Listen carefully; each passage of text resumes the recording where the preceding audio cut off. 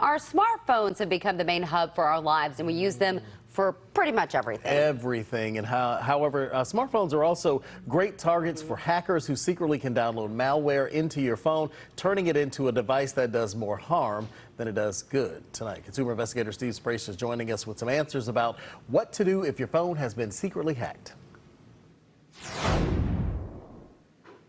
Well, guys, because these criminals put their malware onto your phone without you knowing it, you've got to be a bit of a detective to try and figure out if your phone has been compromised.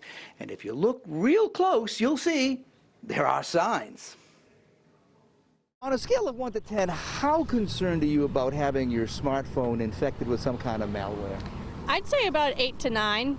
And she worries for good reason. The cybersecurity company Kaspersky detected nearly 3.5 million attacks on mobile devices in 2021.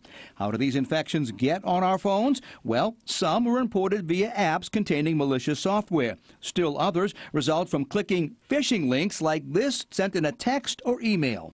If somebody does click on a link um, or open up an attachment, and it has malware in it, then their, their local machine could be compromised. There are a number of signs your phone has secret malware in it.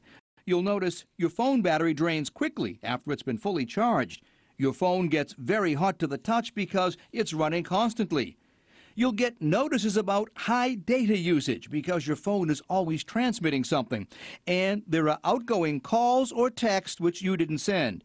In addition to malware from phishing and apps, you need to be aware of external threats to your phone. I try to not get on public Wi-Fi's mm-hmm. because I know that that is a way that they can get into your phone and do things. Also, I would never charge my phone at a charging station where they provide the chargers. That scam's called juice jacking, and I've reported on it in the past. It's where hackers manipulate the USB ports at public charging stations to infect your phone.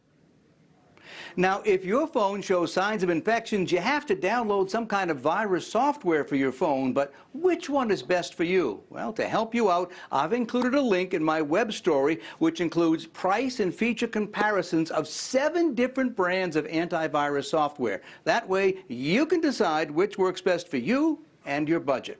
Working for you, I'm consumer investigator Steve Sbraccia. I had no idea that I had to worry about these things. So, yeah. Steve, thank you. That's why I'm here. Yes.